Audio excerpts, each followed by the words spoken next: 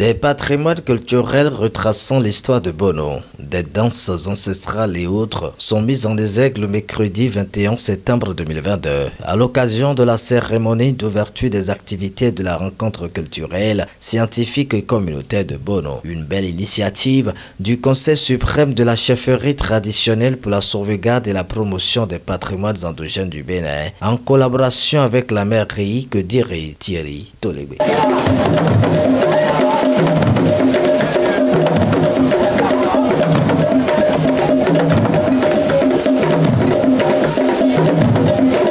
Il s'agit d'un projet qui s'inscrit dans la logique de la restauration et de la valorisation de l'héritage historique légué par l'ex-royauté de Doba et la deuxième guerre de résistance de Dahomey de 1892 à 1894.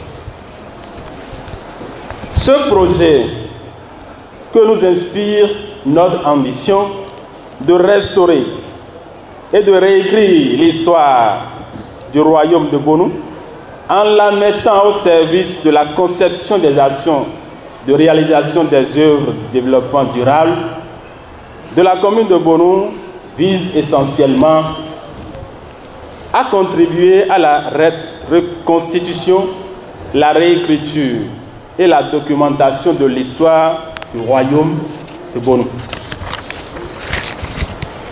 susciter la restauration ou la réhabilitation de la mémoire des faits historiques de la deuxième guerre de résistance de Doba entre 1892 et 1894 à travers l'instauration d'une date pour célébrer la mémoire des fils et filles morts pour la patrie et la liberté du Bénin et de leur communauté et à réaliser des activités de reconstruction des villages décimés et de valoriser les collectivités familiales.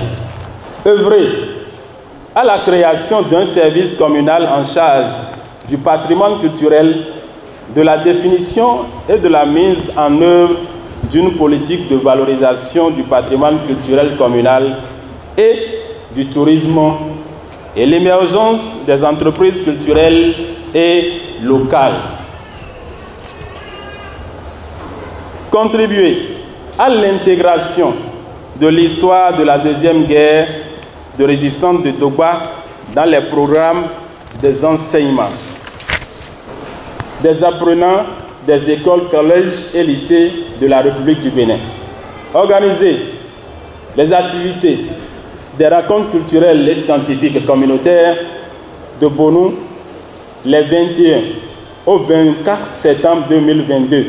Et enfin, promouvoir l'atteinte des objectifs du développement durable en lien avec l'héritage historique et le tourisme dans la commune de Bono. Cette cérémonie a vu venir de grandes têtes pensantes de la culture, autorités à divers niveaux et partenaires tels que Think Tank, Génération des Vigilants. à cette occasion de marque, le directeur départemental de la culture et du tourisme de l'OEB Plateau se dit fier du projet. Je voudrais, au nom du ministre du Tourisme, de la Culture et des Arts, féliciter et encourager les autorités de la commune de Bonou pour cette noble initiative qui tire ses racines du programme d'action du gouvernement du président Patrice Talon.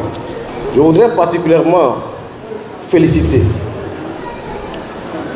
le binôme formé par le maire et le roi Rosaison qui travaille en symbiose pour redonner vie à l'histoire de Bonou.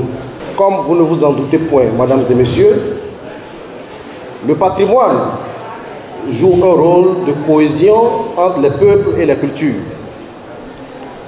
La reconnaissance d'un art, d'un savoir-faire ou d'un monument permet de valoriser une civilisation aux yeux du reste du monde. Et c'est connu de tous. Bonou est riche en patrimoine tant matériel qu'immatériel. il ne reste qu'à y apporter la soupape nécessaire. À cet effet, le ministre Jean-Michel Abimbola suit avec grande attention ce qui se fait à Bono. Il souhaite par ailleurs à toutes et à tous une merveilleuse immersion dans la riche et diversifiée culture de Bono. Les cadres de Bono, en l'occurrence Dr Bertin Dansou et l'ancien maire résident Zissou, ont eux aussi dit le satisfait face à l'initiative qui redonne place à Dogba dans l'histoire coloniale. Je suis fier des autorités de ma commune, je suis fier de ceux qui ont gagné l'événement, qui est un événement inédit et qui commémore l'histoire. Parce que quand je me rappelle le, combat de Barret, avec, avec euh, bon, la, suite, où, on a assisté à la mort du commandant Foras ici, et avec l'implication des femmes, vraiment il faut, il, faut, il faut reconnaître et puis remémorer cela. Et quand j'ai appris que, que l'initiative a été prise, j'ai dit, ah, il faudrait que je sois là. Donc vraiment, je remercie tous ceux qui sont impliqués. Même vous aussi, les hommes des médias, je vous remercie pour la visibilité. Et je, je, demande à la population d'accompagner. L'événement qui nous réunit aujourd'hui ici est un événement très important dans l'histoire de Bono, dans l'histoire de Dogba.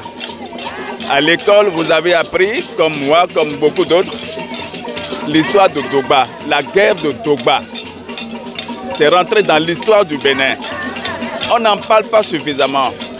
Moi, je suis né à Doba, je suis de Doba, arrondissement d'Atonsa.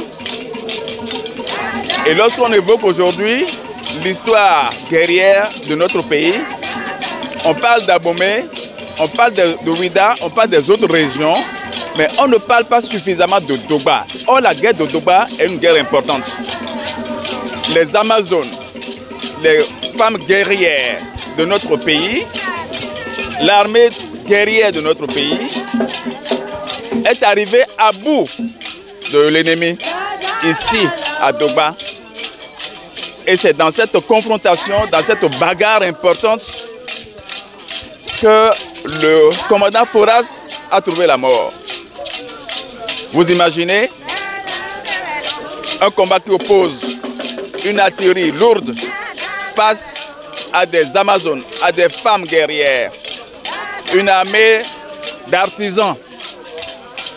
Et ils sont arrivés à bout de plusieurs personnes décédées dans le camp Adès, dont le commandant Foras. Ekpe